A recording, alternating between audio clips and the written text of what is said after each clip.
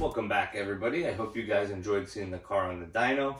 Um, car, car made great power. Uh, made 905, not fully maxed out.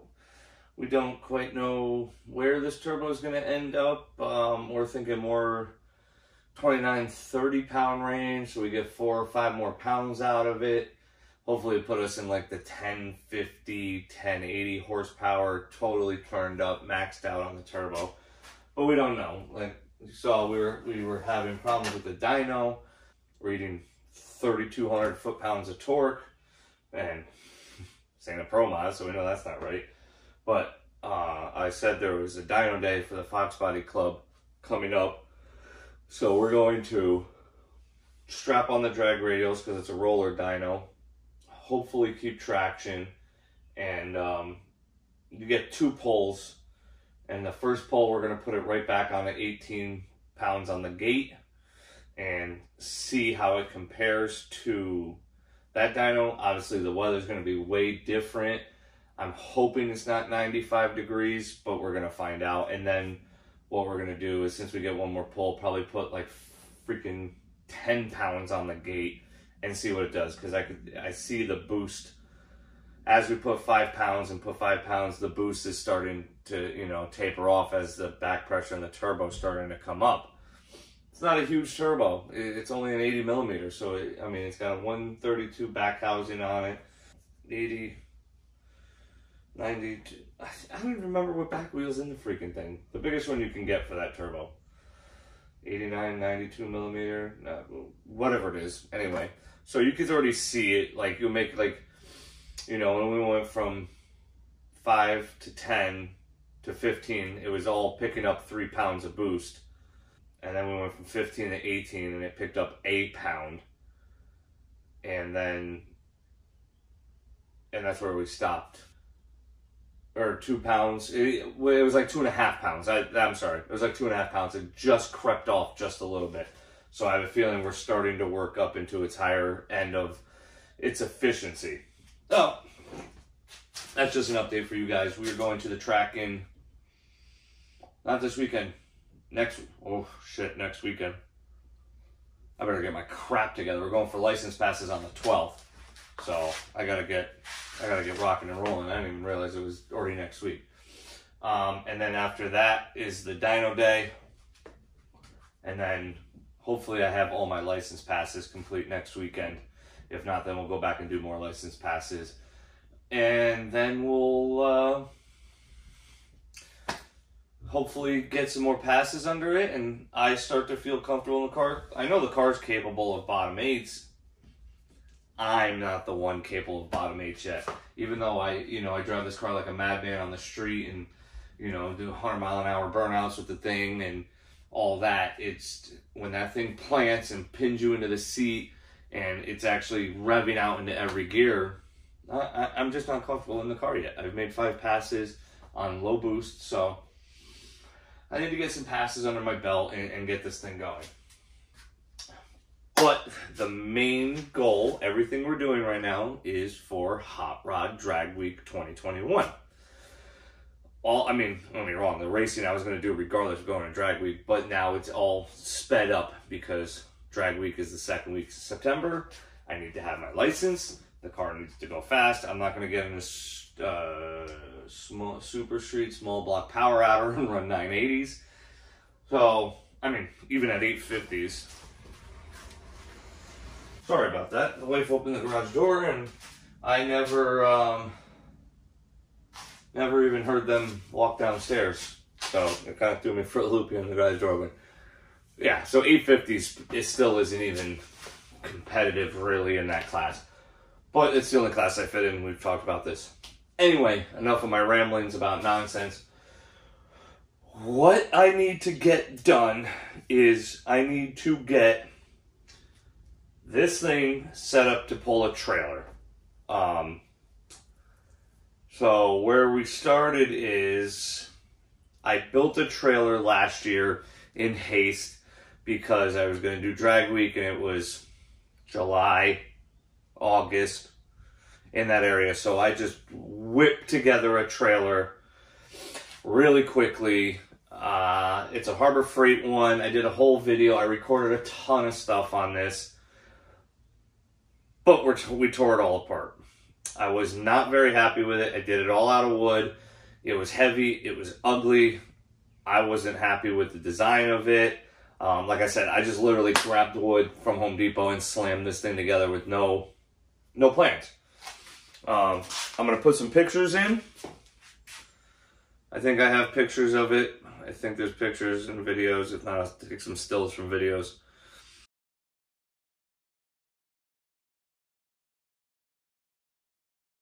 Um, the one thing I might link in is the wiring of it. I wired it all myself, so it's way nicer than a kit you're gonna buy. I might link that in. It might get confusing, so I apologize, but I might link that in. So this is what we're left with right now. It's a Harbor Freight 4x8 trailer. I lost my flip flop. That has been cut down to a 4x4. In hindsight, I wish I left it as like a 4x5 or 4x6. Hot Rods rules, I think it could only be a 4x8 with a certain height. There's a cubic footage thing you could only do. So I've talked to people who have done it, and everyone's train of thought for people that have experience in doing it is the less trailer you have, the more critical you will become on what you bring. The bigger you trailer have, you're just going to bring everything in the kitchen sink. Uh, I obviously don't want that. I don't want 2,000 pounds rolling down the road. So this is a 4x4. I don't even know if there's anything in here. I might all taken out already. So, is a 4x4. What I have done, so I moved the whole leaf forward, welded it, that was a pain in the butt. What I did was I flipped the axle, so this thing is much lower to the ground. And what I'm thinking is, I don't know if I have a tape measure.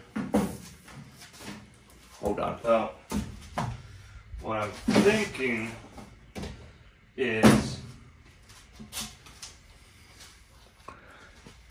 48 inches height. Which actually now that I'm looking at this, might be a little tall. I think I want to do 48 inches total from the bottom of the frame rail. I think that's what it was originally.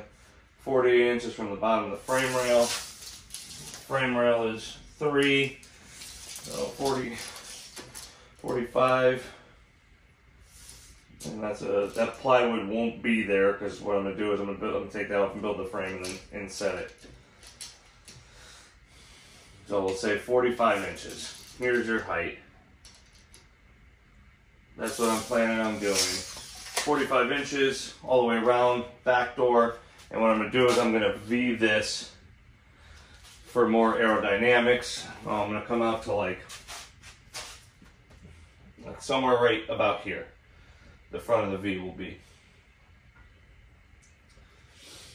And uh, it'll give me more room all at the same time. This time I drew up some plans.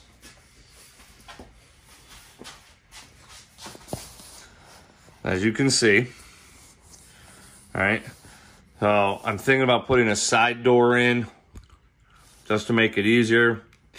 I don't know. I mean, we, will we'll get to that, but I'm gonna do a back door, obviously. And uh, I'm gonna try to go pick up, I'm gonna do it out of three quarter square aluminum. I weighed out the differences between the steel and aluminum and it's pretty significant. This is a three quarter steel tube, square tube.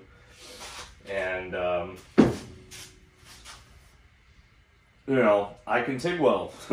so I can, the only thing that sucks about that is I can't use a magnetic square to hold it all together while I do it, which makes me still want to do it out of steel.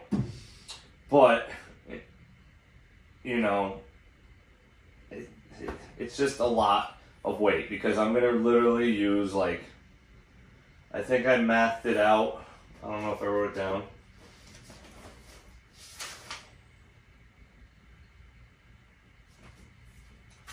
Might be like 80 feet of this. Um, so it's kind of kind of heavy. 80 feet of that plus the aluminum siding, the sheet metal siding. Which isn't very thick, but it's it's still weight. We're gonna start building that soon. I wanna see, I'm gonna buy different fenders and I wanna see if I could get bigger tires to help with the uh, the speed. We'll see. I got all brand new. I'll show you guys. I got all brand new uh, Harbor Freight LED stoplights on the back of it, brake lights. Uh, it's all, yeah, these work, everything works. A four pin plug. So we're going to start to work on that. This was for a cooler. I made this quick frame to hold a cooler, but now I want the extra space. This is a toolbox I picked up for it. It's kind of heavy. I might change this, I don't know. But I want to fit a toolbox, four jugs of fuel, my my race tires.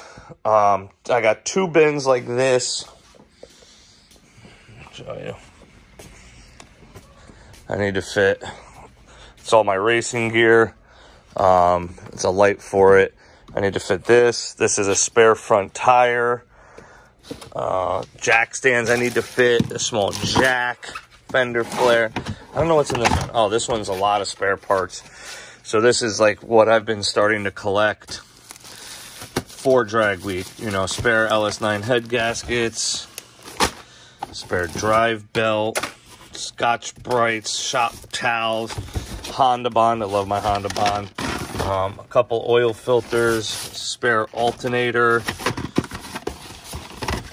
Uh, you know, I got glass cleaner, brake clean, brake fluid, uh, silicone, copper spray, PB blaster, gloves, clamps, you know, oil, valve springs, rockers, trash bags. Yeah, I even picked up, local guy was selling, uh,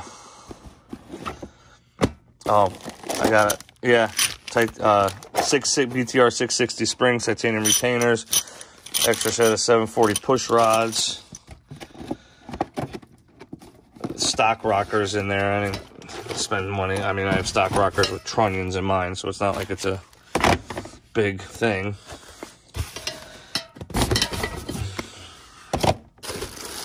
So this whole box needs to come with me. Plus some more. Like I have a, I've gone a little off the deep end with this, with this.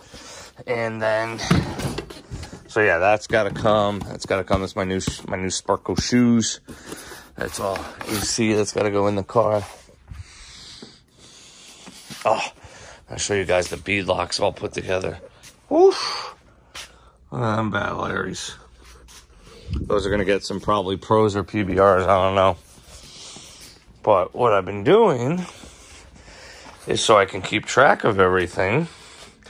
I got a Google Docs here of everything I want, need, on hand, and brand. And here's a good taste of what I've talked to a lot of veterans. Oh, hold on. That's pretty much everything we've thought of. Um, and then I have my oh Google oh my to-do list. So, you know, build trailer, get new tires, spare tire mount, paint. Build a trailer hitch, yeah. I gotta build a trailer hitch. Well, I got that. And then I have all my other stuff in my big trailer.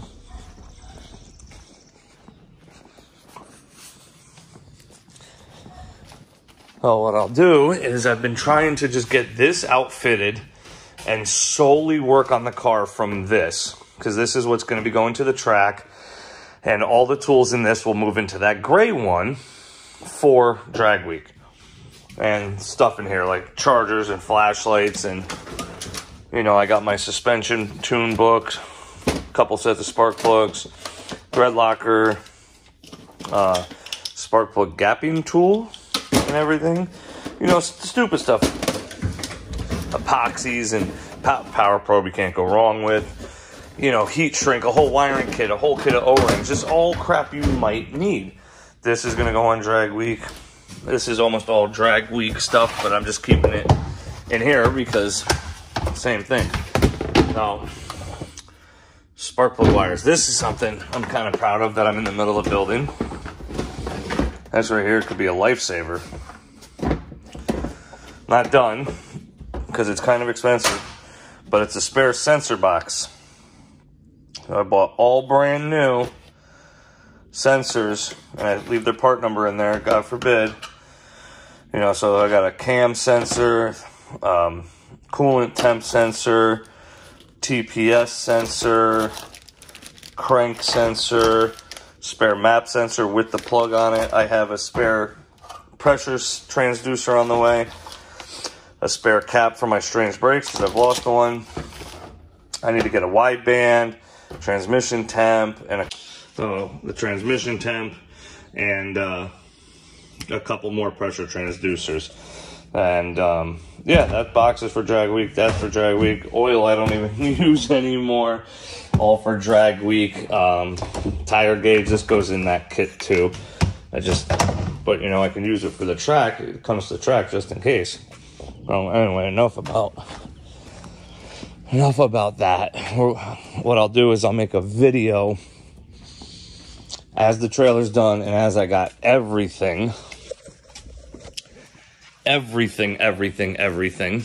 As I got everything, I will go over everything that I'll be bringing on Drag Week.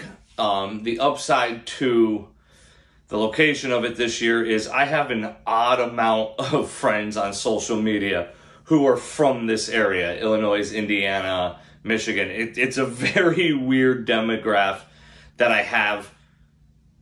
Like the majority of my friends are from that area. I bought I bought this car from Dean, who lives out in uh, Indy. This is where this car came from after he bought it from a lady from Florida. But we've been working on it. I just got my Curt. Now they they uh, I got my flashlight. They fucked me up, but I fixed it. My Curt uh, tail light converter in here. Oh, and look at that, it's already pulled off. Uh, I'm gonna have to get some better double sticky tape apparently, because the crap that came with it hasn't held. Now I just wired this in because the brake light and the turn signal is all, uh, you know, well, they actually put the sticker on backwards. I had to flip the sticker. well, that's all wired in. There's the plug I haven't ran it outside the car because I don't quite know where I'm going to run it yet. I think I, I have this hole here from the old rear mount radiator hose, which I've been meaning to weld shut, so I might just run it out there and put a grommet on it. But that's done. I hooked that up the other night, or last night, and uh, checked all my lights on this, and they all freaking work. Pretty amped. So my next step is build a hitch for that build this and um, start towing it.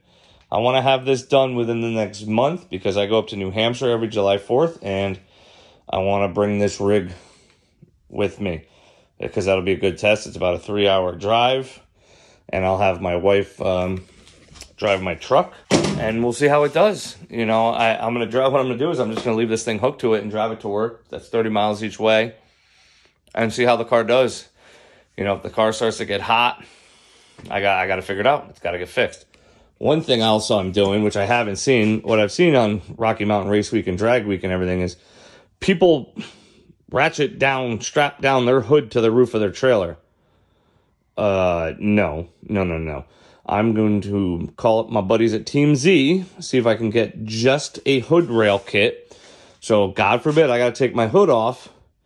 I can Dzus it onto the top of the trailer. So it doesn't go nowhere. It's solid and there's no ratchet straps running across it. But it'll probably be raised because I think I want to be able to put storage under it for like the, the canopy tent. Because one thing a lot of people told me is says, don't forget a canopy tent and don't forget chairs. So I want to get that as well. And I don't know if I'll have enough space inside with everything. We'll see. Because I, like I said, I got to get those four cans in there. That's 20 gallons. I figured five gallons in the car and it could be five gallons per track because, you know, if I make three passes per track, that'll probably be around there. I think there's E85 around, but I'd rather not deal with it. This came in my big trailer. And it's an oil rack. I'm going to cut it in half, stack it, and it's going to go on the door that I have for that to hold all the oil. Space saving. Mm-hmm. Well, guys, tell me what you think. Tell me what you think about the idea for the trailer. If I've missed anything in my list, let me know in the comments. I've been going over that list a whole lot. This is the introduction to my Drag Week trailer, Drag Week extravaganza, whatever you want to call it. This is the start of it, the start of the video series, I should say. And we're going to go from here. I'm going to try to record as much as I can of it and get it edited up. And we'll do that. Like I said, I'm going to try to start building this trailer this coming week. It shouldn't be too hard. There's not crazy angles or bends or anything. It's it's literally just all squares. Oh, it shouldn't take shouldn't take that long to build. And um, I think I'm gonna get it onto that side, kick the wife out of the garage for the rest of the summer and get the trailer on that side because it's hot and oh, it's hot and damp in here. And uh, I'd rather be on this side where, oh, sorry, where I finished installing my LED lighting. So it's it's nice and bright. She's probably wondering where I'm gonna start working on this thing. That thing's not going anywhere. I started hanging some panels on it. I got to get the bumper and the hood and the other fender. And the other fender for it, I want to line up all this. I got like four spot welds left to take off. Take that panel off and get the new one on and make sure it's all lined up. I've never replaced a quarter panel before, so I don't know if I'm doing it the right way, but it, it seems like the right way. It's kind of cool to see it with some panels and actually look like something. but we're going to start working on that. Oh, maybe this winter, that'll be this winter's project. It'll keep me away from working on that thing. All right, guys. That's all I got for you this time. Hopefully next video, we're building that trailer and getting that thing rocking and rolling. Time is flying and I got to get going. Have a good night.